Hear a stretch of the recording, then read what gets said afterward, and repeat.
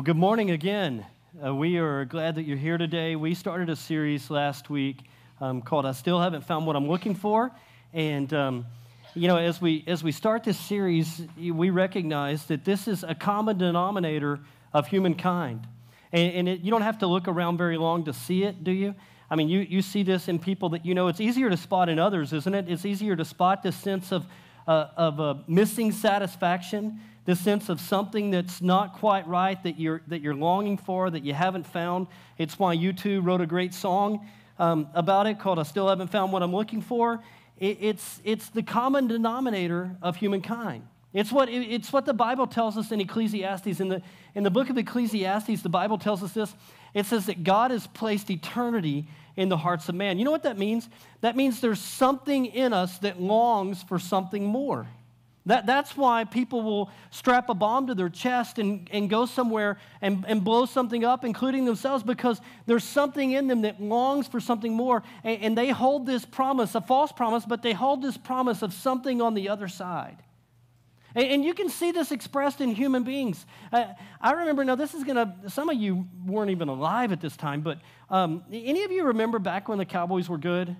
Anybody, anybody remember that? Some of you remember that? Like, like I, I remember in the early 90s, in the early 90s, the Cowboys kind of had gone through their stage and, and they were back to, you know, they were back to being good. And, and so I can remember watching the first Super Bowl that they won kind of in the modern era, you know, not, not Roger Staubach and all those guys. I can remember those a little bit, sadly. But um, this is in the, you know, kind of the modern era, the 90s, and they had their new their new brigade in, and it was, you know, Troy Aikman and Emmitt Smith and Michael Irvin and Jimmy Johnson and, and Jerry Jones hold the applause. Um, you know, so uh, it, they're, they're in, and, and I remember watching this. I was a huge Cowboy fan. I mean, I was, I, I was a huge, I've, I've lost a little of my fervor of late, but I used to be a huge Cowboy fan. In fact, I was engaged at the time, and I made my fiance, now my wife, which is ama- amazing that she you know, continued down this path because I made her memorize the Dallas Cowboys draft choices before I gave her her Christmas presents. And so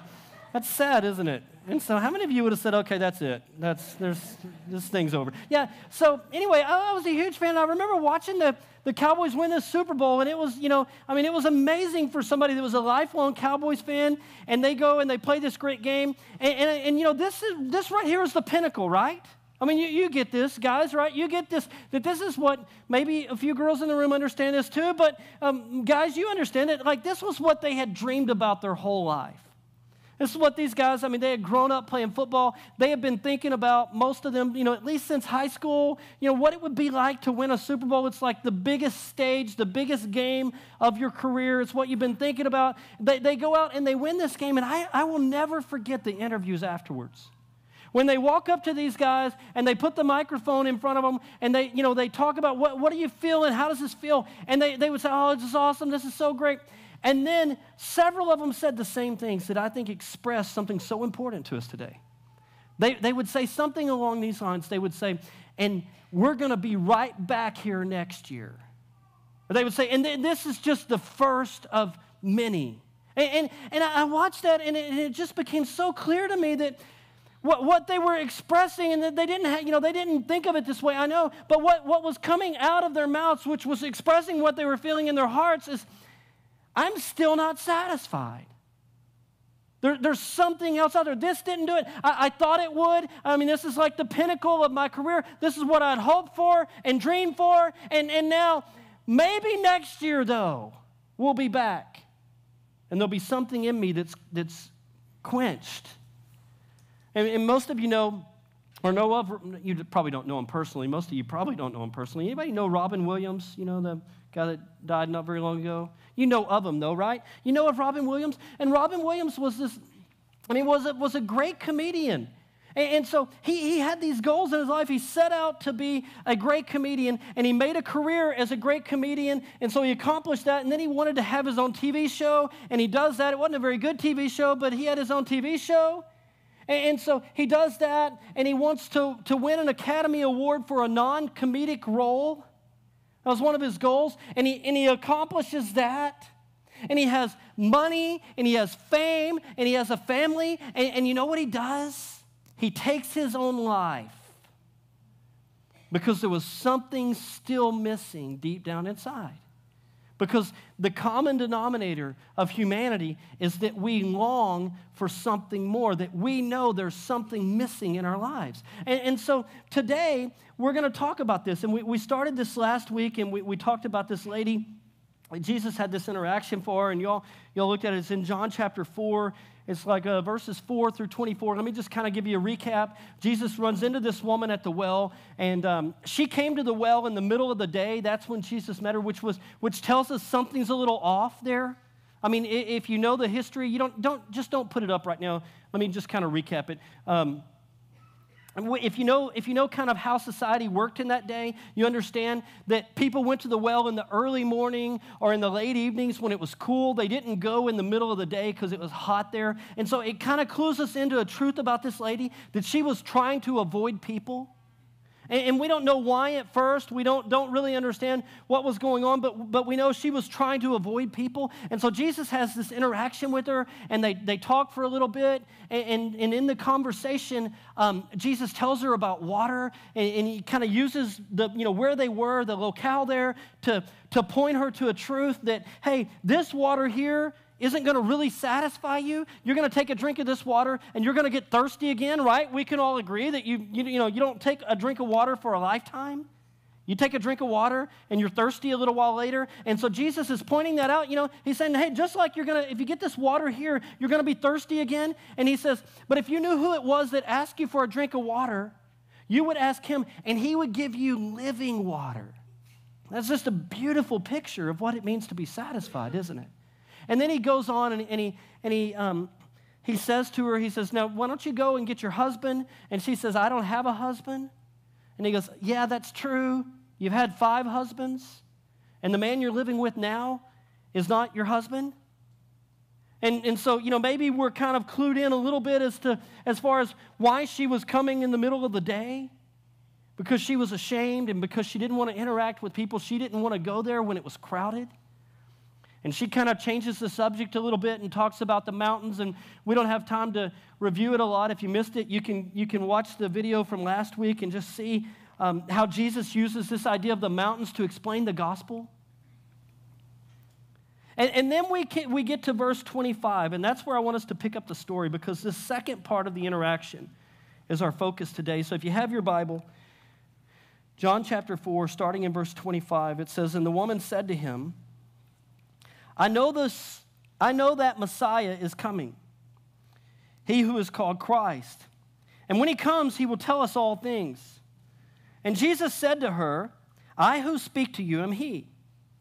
And just then his disciples came back, and they marveled that he was talking with a woman, but no one said, What do you seek? or Why are you talking with her? So the woman left her water jar and went away into town and said to the people, Come see a man who told me all that I ever did. Can this be the Christ? They were out of the town and were coming to him. Meanwhile, the disciples were urging him, saying, Rabbi, eat. But he said to them, I have food to eat that you do not know about. So the disciples said to one another, Has anyone brought him something to eat? And Jesus said to him, or to them, My food is to do the will of him who sent me and to accomplish his work. Do you not say, There are yet four months, and then comes the harvest? Look, I tell you, lift up your eyes and see that the fields are white for harvest. Already the one who reaps is receiving wages and gathering fruit for eternal life, so that the sower and the reaper may rejoice together. And so there's this interaction here. And it, and, it, and it, tells us a lot. And, and I think, you know, we're going to see some things about this woman because it, it's really interesting. I think she suffers from a common um, disease that you and I suffer for as well.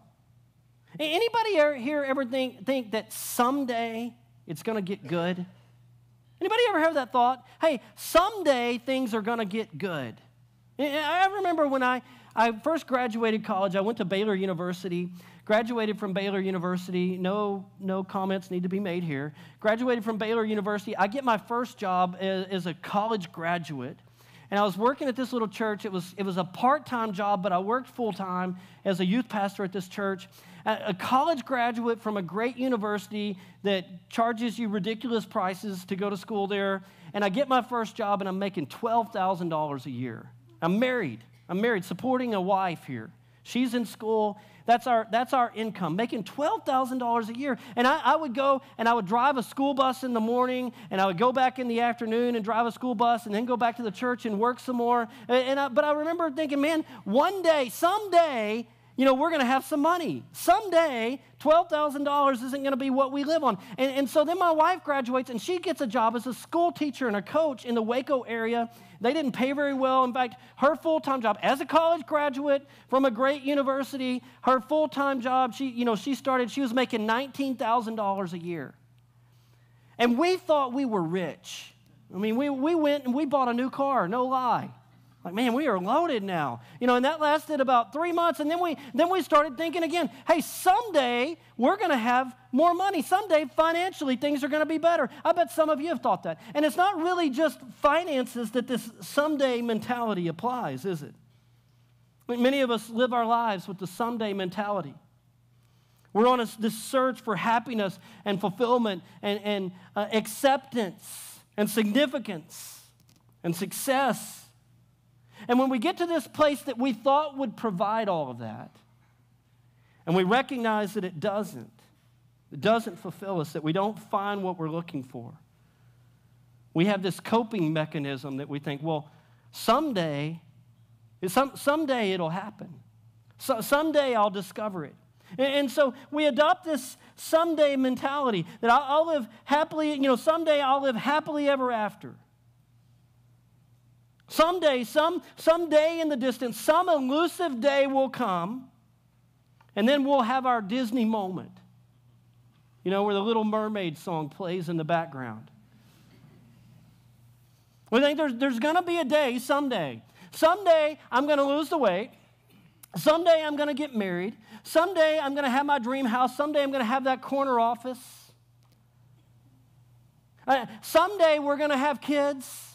Someday we're going to get rid of our kids. You know, some, someday everything's going to be right. Someday. Someday our marriage is going to be fixed. Someday I'm going to have a, a, good relationship with my, my teenager. Someday everything's going to be great. And, and the problem with the someday mentality is that it completely minimizes and belittles today. I mean, today is just today, right? Now, now is just now. That's what's wrong with right now. Right now is just now. Someday is sexy.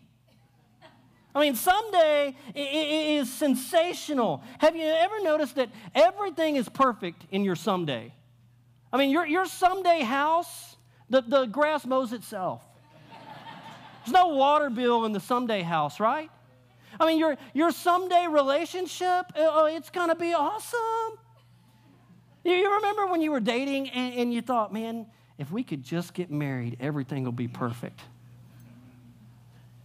Why are y'all laughing? the, that's the married people laughing, single people. I mean, remember when you thought, man, if we could just get married, we're going to wake up every day and we're just going to feel so loving towards one another. We're going to we're gonna wake up and just stare at each other. We're going to lay on the pillow and just stare and gaze into each other's eyes. We're going to both have good breath. We're, we, we, we're going to have a hard time. I mean, we're not going to want to go to work because we're just going to want to sit there and lay there and stare at each other. I mean, that, that's how we think, right? That, that someday everything is going to be awesome someday. But now is just now. And this lady, the lady that we're looking at, this, this lady in this ancient story, she has a bad case of the somedays. I don't know if you caught it. I mean, listen, listen to the words of Jesus says, and so we get to this part, and it says to him, you know, Jesus, you know, tells her this stuff about God is spirit in verse 24, and those who worship him must worship in spirit and truth. And it says, the woman said to him, I know that the Messiah is coming. You can just put someday in there, can't you? I know that the Messiah is coming someday. And when he comes, he will tell us all things. Isn't that awesome? I mean, that, that's how we think about someday, isn't it? When someday happens, it's going to be great. And, and, she's got a case of the somedays, and she says, I know that, that, you know, Jesus is telling her this thing about worshipers, and they'll worship in spirit and truth. And she's like, well, yeah, yeah, I mean, I don't know about all that, but I know the Messiah is coming someday. And when he comes, he's going to tell us all things. That's how we think of someday, isn't it? Like, no, he won't. He never promised that. Never promised he was going to tell us all things. I mean, there, there are a lot of things that God hasn't told us, right? I mean, there, there are a lot of things that we still don't know. No, he won't. But it's this sensational, sexy someday. When someday comes, everything's going to be all right. I mean, the, the, the Cowboys are going to win a Super Bowl someday. We're going to have a presidential candidate that we like someday. And just anybody else will be fine. Guy that fixes my tacos at Oscar Delta, we'll take him. My kids won't aggravate each other someday. I mean, that, that's what this lady says. Hey, someday the Messiah's going to come and he's going to tell us everything. It's going to be great. And look at Jesus' response. I love it. Jesus, he says this to her. Verse 26 Jesus said to her, I who speak to you am he.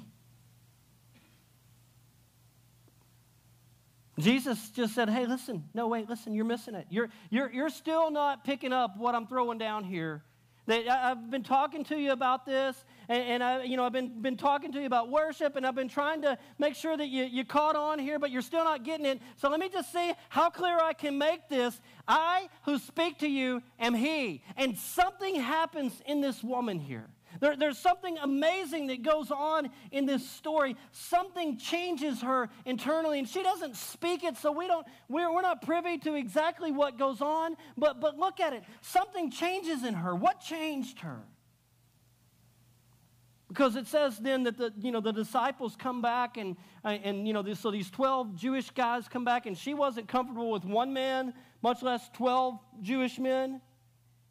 And so she takes off, she just leaves her jar there and goes back into town, and, and something changes in her. Because she runs into town and she starts saying, Hey, I think he's the one, the Christ, the Messiah. Come on. Yo, come on.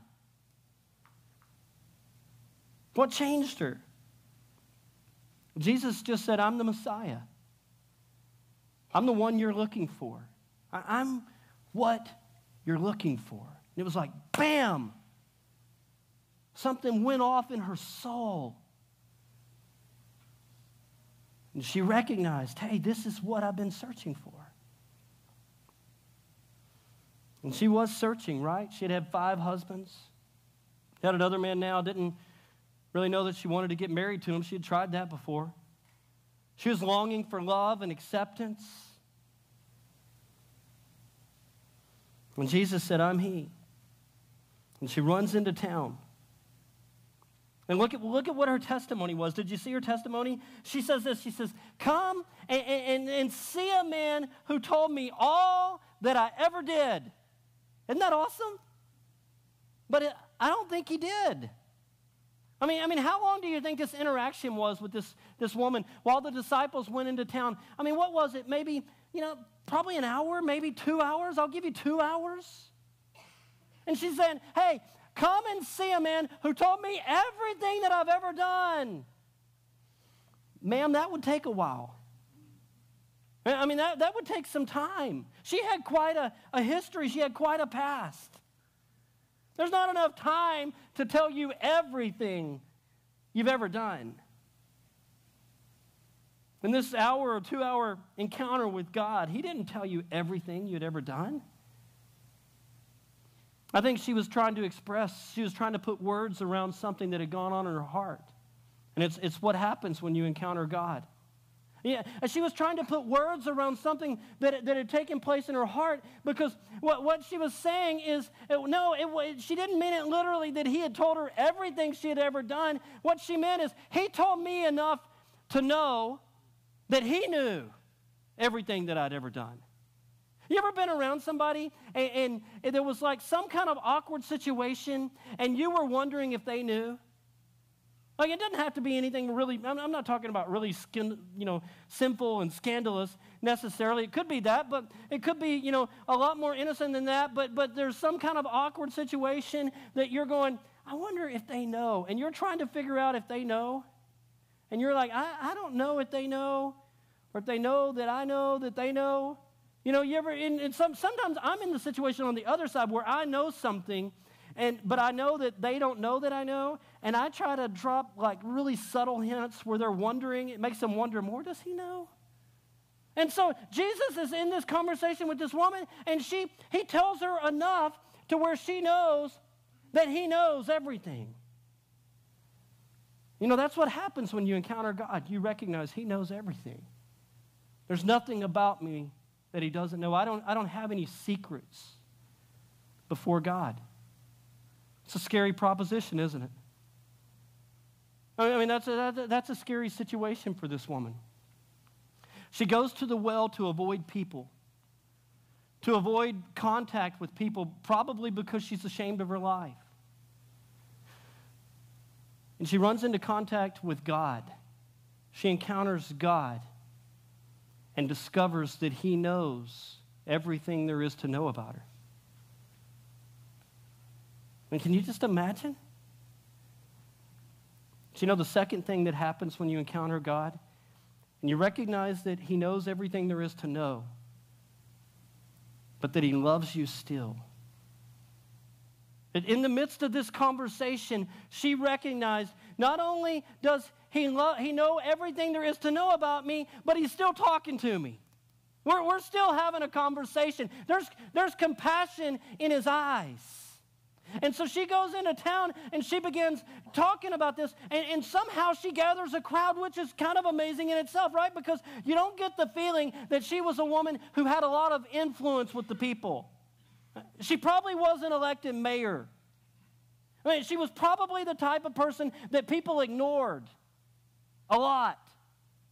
But something was changed in her. My guess it was the burning passion in her eyes that said, Hey, you gotta come meet this guy. Think he's the one. Meantime, something else is going on. The disciples get back. And they, they come back to Jesus and they, they brought him some food. They had gone to the Chick fil A in town. And, um, you know, just that was a joke. Just kidding. And they, they brought him the, you know, the Chick fil A and they bring, they bring him food and they said, Hey, Rabbi, eat. And Jesus says something that confuses them. I mean, I mean it's, it, it's really confusing. He looks at him and he says, I have food that you know nothing of. I mean, that would confuse me. Wouldn't it confuse you? And I love this about the disciples. You know what I love about the disciples? They're stupid. that, may, that should make us all feel better, is it? shouldn't it? I mean, these were the guys closest to Jesus, and they don't have a clue. I mean, they're, they're just dumb. They like start arguing with each other. Who brought him food? Who brought him food? Did, he, did you bring him food? Who brought him food? Was it that woman? Did she bring him food? And they start arguing with each other. And then Jesus says, he tells them. He says, No. And, and in this, listen, he gives us a key to satisfaction. He gives us a key to finding satisfaction on this planet. He says, My food is to do the will of him who sent me. Now, now I mean, th- think about this.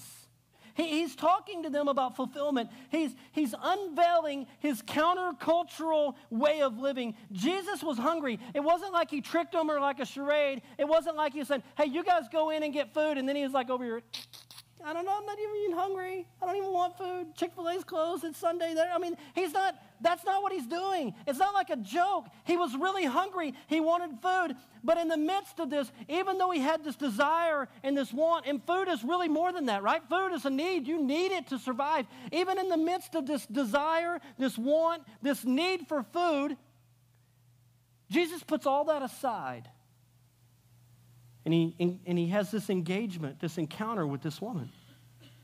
And he teaches us something about satisfaction here. That satisfaction is about two things. Now, now this, is, this gets so tricky because remember earlier we talked about it's a common denominator of humanity that we're searching for something to satisfy us? But, but here's the problem. So many times people talk about this, people even teach this. They'll say, Yeah, but you've got to find your individual path to satisfaction. And what I'm telling you today is that's not true. There, it's a common denominator that we long to be satisfied, and there's a common thing that satisfies us all. And Jesus taught it here. It's a two sided coin, it's, it's to know God, and it's to bring other people to Him. It's to know God. Satisfaction is found in two parts it's found in knowing God and inviting others to do the same. And I would just, I would just encourage you don't be duped by the thoughts and the reasoning of this culture that tells us that satisfaction is found in selfishness.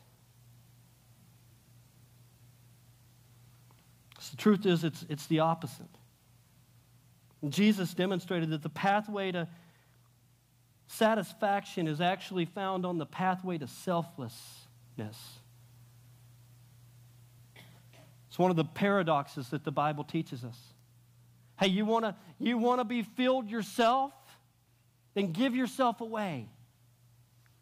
Then serve other people, then, then introduce other people to Christ, then, then live for other people.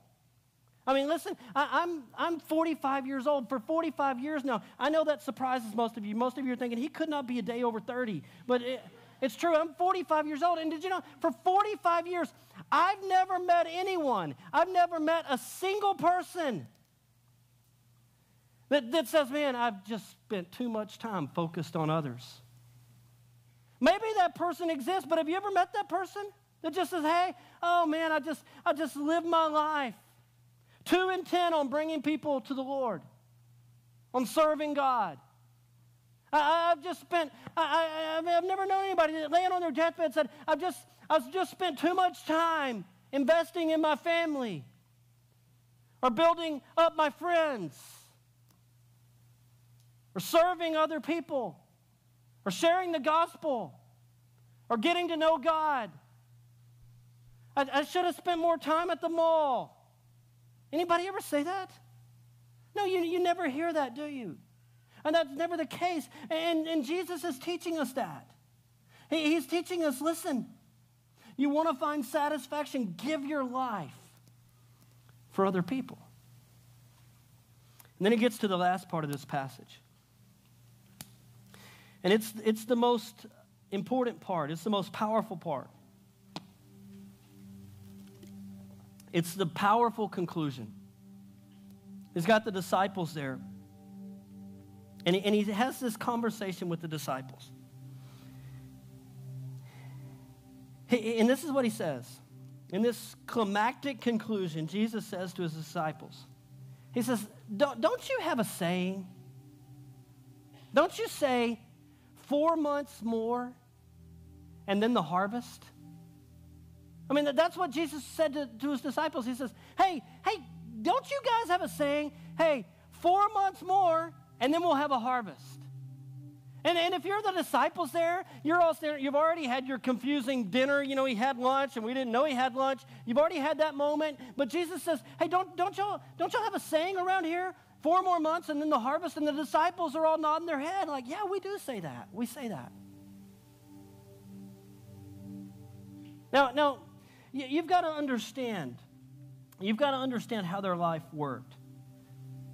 See, Jesus, Jesus was saying, like you take barley, for instance. They would plant barley, and, and what he was saying is you plant barley in the ground, and you wait four months, and in four more months you have barley pops up. It sprouts up. You've got, you've got a harvest of barley, right? I mean, that's what, that's what Jesus was saying. And, and, and they lived by this Jewish calendar. You, you need to understand this about that day because they understood this. When Jesus was talking about this, it just clicked in their mind. They lived by this Jewish calendar, and, and, it was sort of their, their religious observations. They had this holy schedule, and their devotion to God revolved around this holy schedule. They had the Passover. And then about 40 days later, seven weeks or so later, they had Pentecost. And then a, a little while later, they had the Feast of the Tabernacles. And, and in these, these times, these, these holy days, on these holy days, God met with them and God blessed them. And here's what you need to understand these holy days were tied to the harvest. See, the, the Passover was tied to the barley harvest. And, and the, the Pentecost, Pentecost was tied to the wheat harvest. The Feast of the Tabernacles was, was tied to the grape harvest. And, and, so when Jesus was saying, hey, don't y'all say four months later and then the harvest, when he said harvest, they knew not only is there a harvest, there's a holy day attached to it. Four more months, and it's going to be the harvest. And when the harvest comes, we got Passover. And at Passover, you meet with God, you engage with God. God, God comes and God blesses you there, and, and you've got this experience with God. And then you wait 40 more days, and in 40 more days, it's Pentecost and it's the wheat harvest. There's a harvest there. And Jesus says, Listen, don't you say four more months? And then comes the harvest. And then he said this listen, he said, Look, lift up your eyes. Look. I tell you that the harvest is now. And most scholars think that at that, that point, Jesus is pointing to this, this woman that he had this conversation with at the well. And this crowd of people that she had gathered up that was coming back to meet with him. And he's saying to the disciples,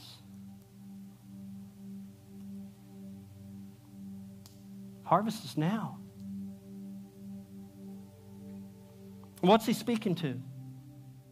This, this language makes so much more sense in their day, but I, I want you to get it. What, what's he speaking to? He's saying, hey, don't y'all say that the harvest will come? And, and, and when the harvest comes, we have this time with God, we meet with God, God blesses us. It's awesome. It's incredible. He said, but I'm telling you, no more lag time. No more someday. Someday we'll have the harvest. Someday we'll have a harvest, and when the harvest comes, we can be made right with God. That'll be great. When the harvest comes, we'll have Passover. And, when we have Passover, God does something miraculous. And, and, then when the next harvest comes, we'll have Pentecost. And when we have Pentecost, that's a day to be with God. And then when the next harvest comes, we'll have the Feast of the Tabernacles and we'll get to experience God's blessing. And Jesus said, No, no more someday. So the harvest is now. He, Jesus was saying, Listen, I'm the fulfillment. I am your Passover. I am your Pentecost. I am your Feast of the Tabernacle. Right now is the time. Now is the day to experience me. You don't have to wait four months to be right with me anymore. Because now's the time. Say, no more someday living. You don't have to wait for Easter or Christmas. Now's the time. I'm here right now. Now is the moment.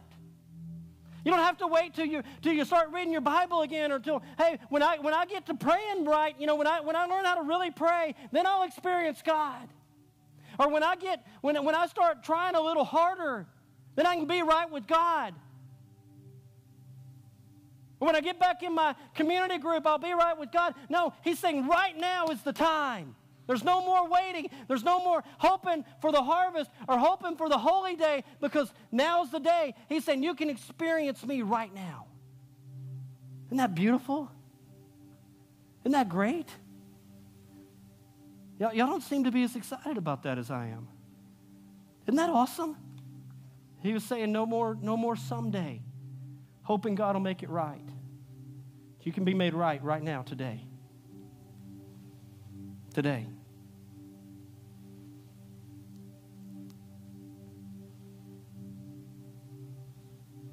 I think for some of you here today, Jesus would say, I know everything there is to know about you. I know everything there is to know about you. And I still love you. I still accept you. And I want you to know that now's the time. Would you just bow your heads? You know, my guess is there's somebody here today that you're amazed at the truth. You're just amazed at the truth that Jesus knows everything there is to know about you and that he still loves you. Maybe you've thought for a long time, hey, someday will be my time. Someday will be the day that I want to get right with God. Someday will be the day that, that I lose the addiction. Someday will be the day that I, you know, that I start seeking after God. Someday will be the day that, i that I forgive or that I'm forgiven. Someday will be that day. And today, maybe you're just recognizing, maybe the Holy Spirit is pressing in on your heart right now to say, today is the day. And I want to just ask you to do something if that's the case. I'm not to I'm not going to embarrass you. I'm not going to ask you to do anything, you know, anything that would embarrass you or that would be crazy. All I'm going to ask you is if that's the case in just a minute, would you just look up here at me? Just keep your head bowed and your eyes closed if that's not you. But if you would say, man, hey, I, I know that I've been searching for something that I haven't found. And I recognize today what I need is to embrace this Jesus who knows everything about me and still loves me, who knows everything I've ever done and still loves me and accepts me. And I recognize today's the day. All I'm going to ask you to do is just look up here at me so I can pray for you. If that's you and you would say, I know today's the day, would you just look up here at me and make eye contact?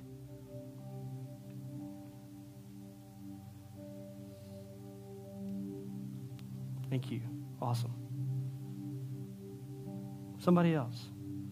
If you'd say, Today's, I, I recognize, that's awesome. You looking at me? Awesome. Awesome. Praise God. Somebody else. Thank you. Awesome. You would say, I, I know that I need to be loved by somebody who knows everything I've ever done and yet loves me still. Just make eye contact with me.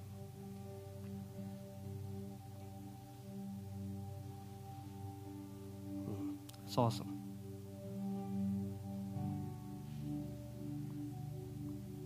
That's awesome. Thank you. God, I just pray for these people in this room this morning. I pray that today would be a life changing day. We don't have to wait for someday at, a, at 11.07 on a Sunday morning. Because of Jesus, because he's present, because that's what kind of God he is, that you're present, that you're available, that you're here, that you're now. Pray that these people that have made eye contact me, with me would find what they're looking for. That there would be something powerful that would take place in their lives, just like it did this lady 2,000 years ago at this well.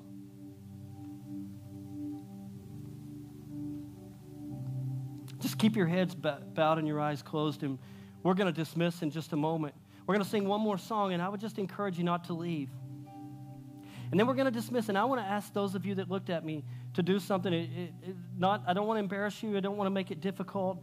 It's just on your C link. There's a little box there that says, I'd like to talk to somebody about a spiritual decision. Whether you looked at me or not, if, if you know that you need to follow up with somebody and talk about what a next step might look like, I would just ask you listen, this is way too important. It's way too important to walk out of here without taking a next step. You can just check, check that box. I'd like to talk to somebody about a spiritual decision. Put your name and contact information on there. And somebody will give you a call and just see if we can, we can help you figure that out. God, give us all the courage and the grace to embrace you right now, not waiting for any other time, to embrace you now. And I pray that today in Jesus' name. Amen. Let's all stand together as we sing.